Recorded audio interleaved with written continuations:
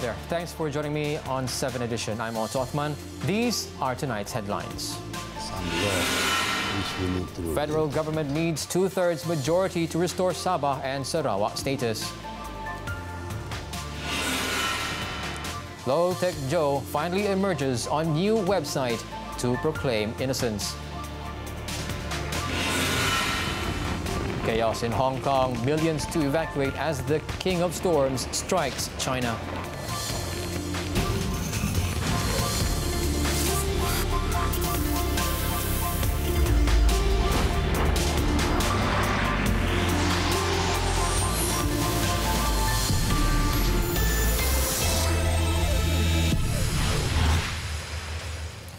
We begin the bulletin this evening with businessman turned fugitive Low Taek Jho, or Jho Low, who has finally resurfaced today to tell his side of the story and to declare his innocence. Now, in an effort to clear his name, Jho Low launched a website where users can access legal documents and public statements regarding the accusations against him wanted in Malaysia and Singapore, and marked by U.S. prosecutors as the mastermind who orchestrated the theft of 4.5 billion US dollars from One Malaysia Development Berhad 1MDB, the website provides information, court documents, and other materials related to the case. His goal to provide a balanced view of the allegations and the truth behind these matters.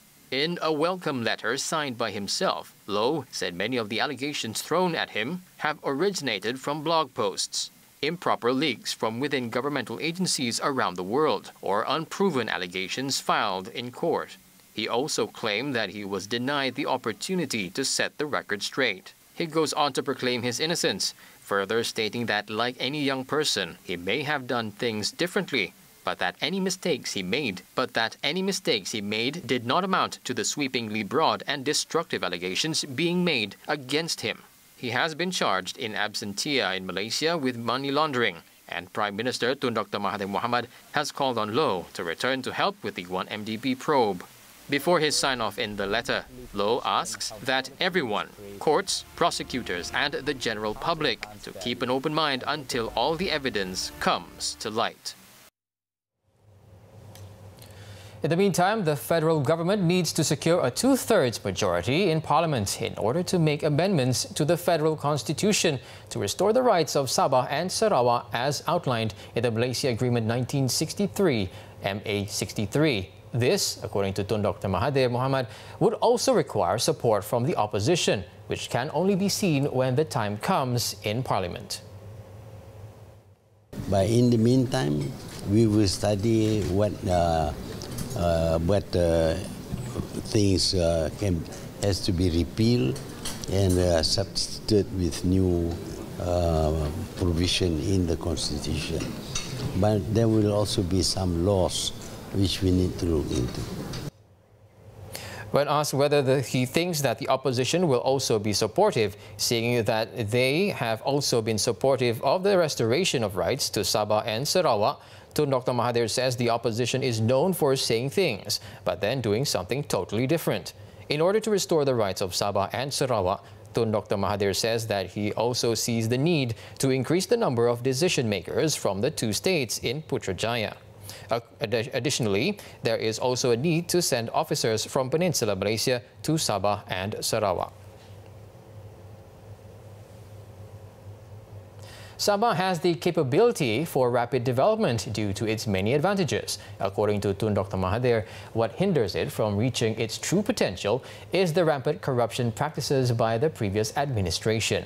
After a one-hour breakfast session with Sabah Chief Minister Datuk Sri Muhammad Shafie Apdal and other state cabinet members, the Premier said Sabah has the potential to become the largest petrochemical producer as more deep water oil and gas production starts soon the potential is good, but what happened before was that the cost went up because of corruption. You see, when you have to pay uh, to divert money for corruption, the cost goes up. And then that, I think, will will stop because I intend to adopt the Chinese law where we shoot people. Apart from that, he said the implementation of the cabotage policy is also one of the contributing factors to the high cost of living in both Sabah and Sarawak. The government is ready to review the 5% oil royalty rate currently applicable for Sabah and Sarawak. However, the government would need to mull further over the decision on whether to increase the rate at 20%. Prime Minister Tun Dr. Mahathir Mohamad said that the government needed to ensure that such a move would not kill Petronas. If you take 40% of its operating cost, you add that to the operating cost, Petronas will lose it. Petronas is a unique uh, company in the world because it's the only national oil company that goes into exploration, into development, into production, into petrochemical.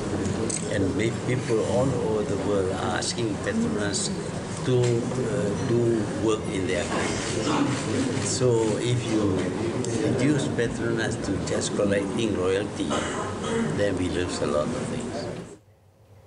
Speaking at a media conference in Kota Kinabalu this morning, Tun Dr. Mahathir, however, said that the government has every intention to increase oil royalty for both states as soon as possible. Before this, Economic Affairs Minister Dato Sri Muhammad Azmin Ali had said that a cabinet committee set up to study the payment method for oil royalty claims to oil-producing states have been given six months to discuss, finalize and come up with their recommendation on how an increase to 20% oil royalty rate can be carried out. The government is also guaranteeing that the Pan-Borneo Highway project will be continued, though it may take a longer time period to complete. Tun Dr. Mahathir says that the development of the project will very much depend on the nation's financial standing. Tun Dr. Mahathir says he understands the problems linked with the development in Sabah. He said, for instance, things were different when he went to Sabah in 1965. But now you have roads, and, and we will do the North Borneo, the Borneo, uh, Pan Borneo highway. But that will be a little bit slow because we don't have the money.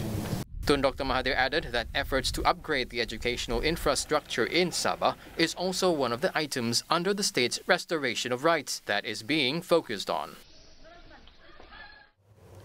Consumers must understand their rights and roles to ensure that they are not cheated and that they have the ability to ensure that market prices of goods and services are not a subject to trader profiteering. Deputy Prime Minister Datuk Sri Dr. Wan Azizah Wan Ismail is therefore urging consumers nationwide to assist the government in the identifying errant traders who profiteer by charging unreasonably for prices of goods and services. Untuk mempergiat usaha memuat kuasakan lagi bagi mengekang sebarang kegiatan mengaut keuntungan yang tidak munasabah oleh segelintir golongan peniaga yang tidak bertanggungjawab. Tindakan dan tegas perlulah diambil kepada sebarang salah laku ini agar menjadi teladan kepada semua pihak. Datuk Sri Dr. Wan Azizah was speaking at a consumer empowerment program in Keningau, Sabah this morning. She also said that consumers should become friends of the Domestic Trade and Consumer Affairs Ministry apart from being the ministry's eyes and ears on the ground. This can be done by channeling information and the appropriate proof of pictures to the ministry's hotline number at 019-279-4317. All complaints will be followed up on within 24 hours. Former UMNO chief, youth chief Khairy Jamaluddin wants UMNO or Barisan Nasional to contest in the Port Dickson by-election against Datuk Sri Anwar Ibrahim. In his Twitter posting today, Khairy alluded that Datuk Sri Anwar should not be given a free pass to win the by-election. In a sardonic tone, Khairy said coronations are for kings and Anwar isn't one. Therefore, he said UMNO and BN must contest. The Port Dickson parliamentary seat was by, vacated by its incumbent, Dato Daniel Balagopal Abdullah, through a resignation to, to pave way for a by-election to take place. This is to enable PKR President-elect Dato Sri Anwar to contest and ultimately return to the country's political arena before becoming Malaysia's eighth Prime Minister.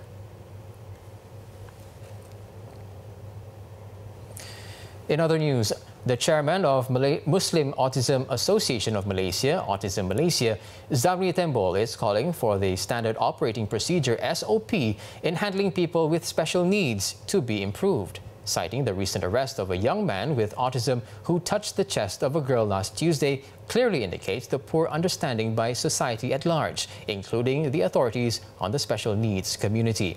Zamri said this clearly calls for the need to enhance society's understanding on people with special needs. Uh, mungkin juga boleh membina SOP uh, bagi mengendalikan kes yang melibatkan autism khususnya dan uh, okey lain amnya. Bagi orang awam saya fikir harus uh, lebih empati dan bertimbang rasa sebelum mengambil tindakan undang-undang terhadap individu uh, autism.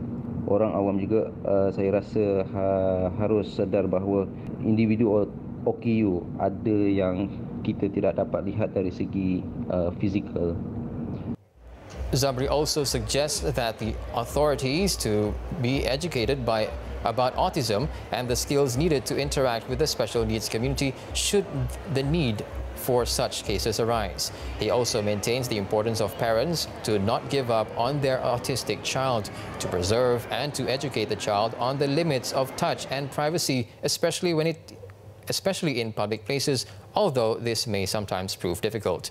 On Wednesday, the Petaling Jaya Magistrates Court rejected a four-day remand order by the police on a 22-year-old autistic man to assist with investigation for allegedly outraging the modesty of a girl outside a restaurant in Subang Jaya, Selangor.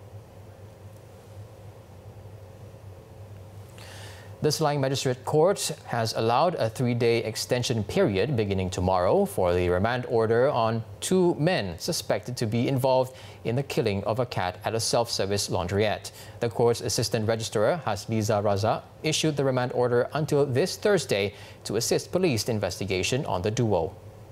Both suspects who arrived at the court at 8.30 a.m. had been remanded for four days last Friday under Section 428 of the Penal Code for mischief by killing or maiming animals. The two men in their 30s and 40s were arrested by Gombak Criminal Investigation Department following police intelligence gathering and tip-offs by the public. However, police are still hunting for a third man believed to also be involved. Police have been on the lookout for three after killing a pregnant stray cat by putting it in a clothes dryer in Taman Gombak Ria at about 12.30 a.m. last Tuesday. The cat was found dead by a customer the following day at about 10.30 a.m. before an animal rights group lodged a police report on the incident. Their cruel act was caught on the laundrette's CCTV camera and has since gone viral on social media, sparking a nationwide outrage, with many calling for the suspects to be severely punished for their actions. The second suspect involved in an armed group robbery, which took place last week, has been remanded for six days to assist an investigation into the case. The 20-year-old suspect was nabbed by the roadside in Juru at 7 a.m. yesterday. The remand order was issued by the Sungai Petani Sessions Court Assistant Registrar Balkis Abdul Halim. Investigation was carried out under Section 395 that was read together with Section 397 of the Penal Code for group armed robbery. Last Friday, a house Last Friday, a husband and wife duo were arrested and remanded after they were believed to have been involved in a robbery at a laundrette and a convenience store at Bandar Putri Jaya and Taman Ria. Both crimes caught the attention of netizens after CCTV recordings of both incidents went viral on social media. With the arrest of all the suspects, the case on the three premises, premises is now closed.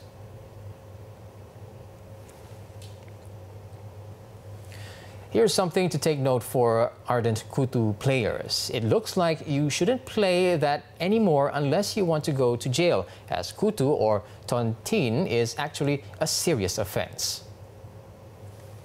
You can get jailed for no more than 10 years and or fined no more than 500,000 ringgit if found guilty of organizing tontine groups or running a business that manages tontine groups. According to the Cybercrime Alert Royal Malaysian Police Facebook page, the Commercial Crime Investigation Department, JSJK, reported several cases of missing tontine organizers who ran away with the investors' money. On June 3rd, it was reported that nine women in Segamat Johor lost between 200 to 4,500 ringgit after being cheated by a kutu organizer. So folks, it's important for people to know that some of these groups are illegal and dangerous. Two men died after the trailer they were in skidded and plunged into a ravine at Kampong Pipi, Jalan Gerik, Klian Intan in Gerik Perak. In the 9 a.m. accident, both victims were confirmed dead at the scene. According to police, an investigation found that the trailer carrying ice holes, rice holes had, also, had lost control while descending a sloped road before it skidded and plunged into the ravine, throwing both victims out of the vehicle and onto the road. The identities of the victims have yet been ascertained, but they are believed to be related. Their remains were sent to the Gerik hospital for post-mortem.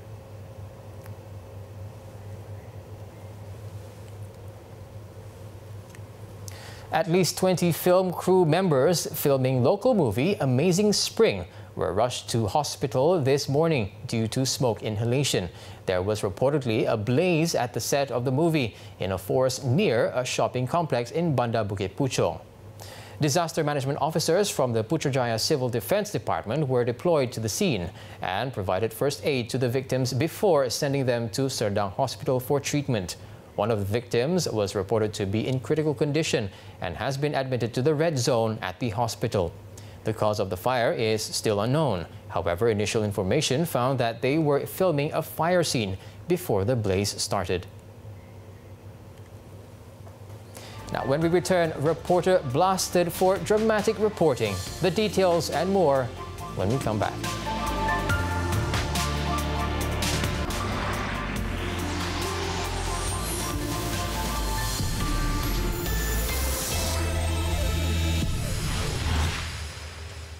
Welcome back. Now let's take a look at our daily segment Clickbait for what's trending and making rounds in the cyber world today.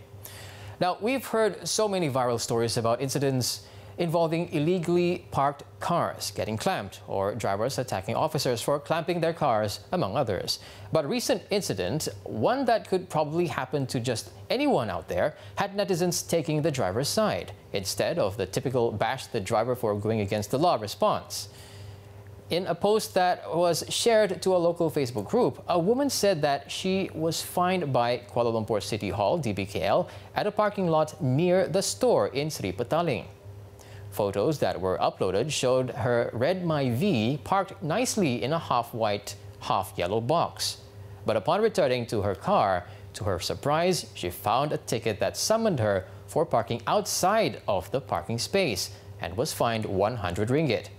Responding to a commenter, the netizen said that prior to paying the fine, she had asked the DBKL officers when they had changed the color of legal parking spots to yellow.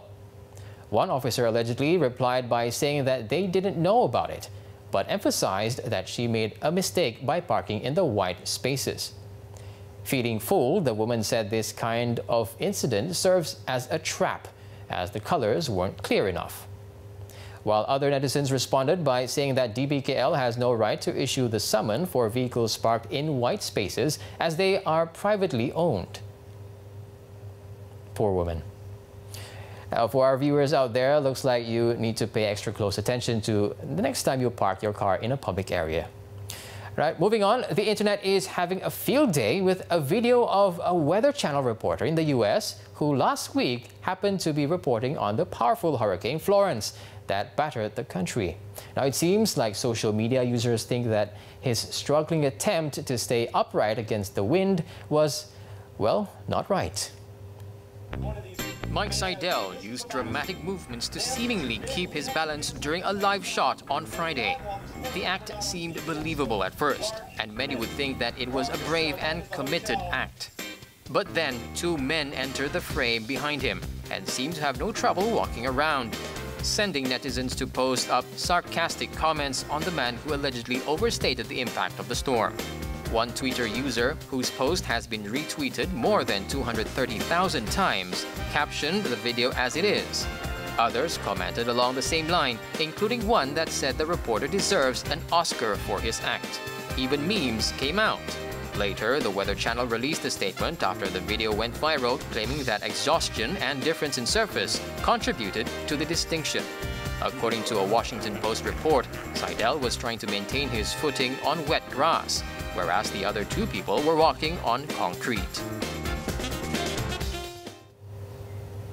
Now updated as of 7 p.m., here are the top trending topics and searches on the internet today.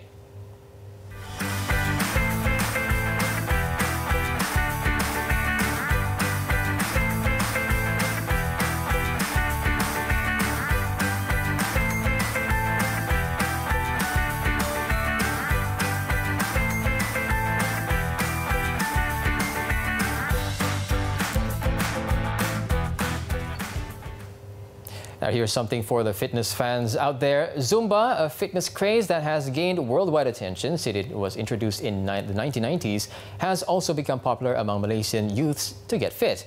Coupled with hip and trendy music, the current generation sees Zumba as a pleasant alternative to late night clubbing due to its health benefits. Wanizul Islam has more.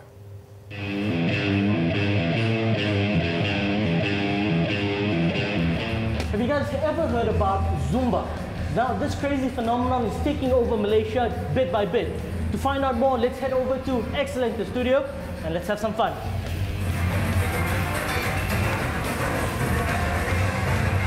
Inspired by Latin dancing, Zumba is a type of fitness exercise involving dance and acrobatic movements performed to energetic music. Apart from burning calories, participants feel a sense of euphoria through the music, which often helps reduce tension and stress among dancers. This high-intensity workout is seen amongst the youth as a great way to socialize while maintaining a fitness routine. Uh, when doing Zumba, I can I can be I can be fit and at, the same time I can have fun and with my friends and know many many people. Uh. I've been doing Zumba like almost one year and a half. So what Zumba makes me feel is I feel confident so I can prove to everyone that Zumba is not meant for women only. Man also can do it, you know? Since 2013, Excellento Studio has been promoting a healthier lifestyle through Zumba. Founder Nora Liza Kamaruzaman believes it is easier to connect with the younger generation through Zumba due to its trend-setting nature. Kiranya exercise ni dia kena macam uh, fashion baju juga dia kena trend sebab muda-muda sekarang ni untuk menarik minat uh, pemuda muda-muda muda ni semua untuk bagi bagikan aktiviti daripada diorang buat uh, uh, sesuatu benda yang tak elok uh, seperti malam uh, apa tu hangout semua gitu okey kita sediakan zumba okay. Excellento Studio will be organizing one of the largest Zumba gatherings in Malaysia on September 22nd to help share and spread the love of fitness and healthy lifestyle. Over 500 Zumba fanatics will gather at Dewan Seri Iskandar in Taman Setiawangsa, Kuala Lumpur to participate in the Zumbathon. Wanizul Islam reporting for 7th edition.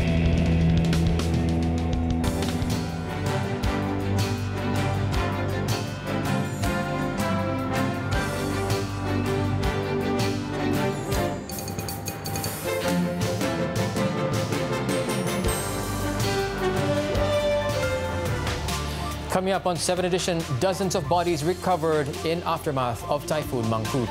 Stay with us.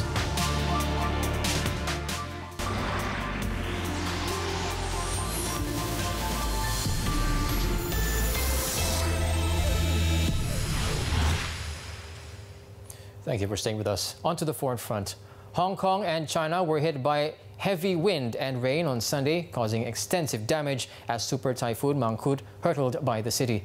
There were no immediate reports of fatalities in Hong Kong. However, the Chinese government said on Monday at least four have been killed and 200 others injured in Guangdong, China. Various videos circulated on social media showed incidents of people battling through the fast typhoon winds, and another that chose to not even try.